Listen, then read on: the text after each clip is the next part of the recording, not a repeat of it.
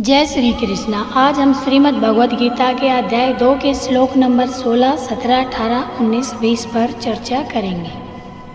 नास्तो विदते भाव ना भाव विदते उभ्योरपि दृष्टोन्तस्तवनियोस्तत्वादर्भिशिव इस श्लोक में भगवान श्री कृष्ण अर्जुन को ये समझाते हैं कि क्या वास्तविक है और क्या अवास्तविक है। असत अर्थात जिसका कोई अस्तित्व नहीं होता और सत अर्थात जो वास्तविक है।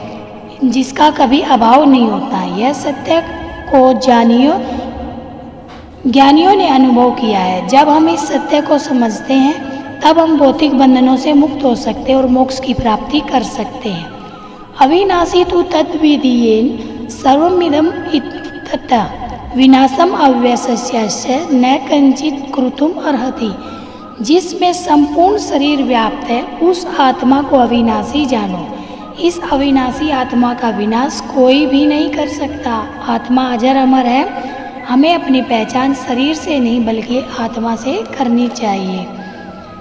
अनंतन देहा नित्य शोक्ता शरीर अनासीनो प्रमेश तस्मादो भारत। इस श्लोक में भगवान श्री कृष्ण अर्जुन को सिखा रहे हैं कि हमारा यह शरीर नासवान है, अर्थात एक दिन इसका नाश निश्चित है। शरीर जन्म लेता है बढ़ता है और फिर नष्ट हो जाता है लेकिन आत्मा जो इस शरीर में निवास करती है, वह अविनाशी है, जिसे मापा नहीं जा सकता, आत्मा को कोई अंत नहीं होता।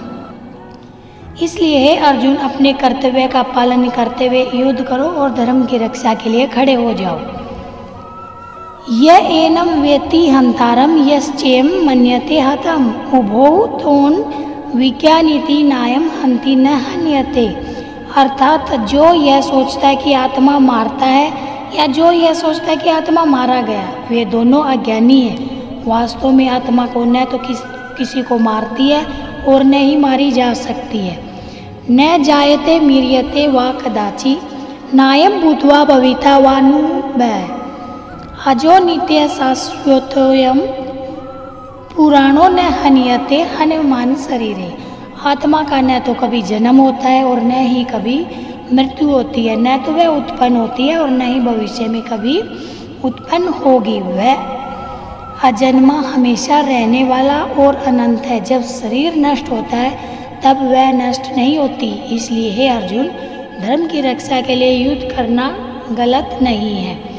गीता ज्ञान की खोज में हमारे साथ जुड़े रहने के लिए धन्यवाद। राधे राधे।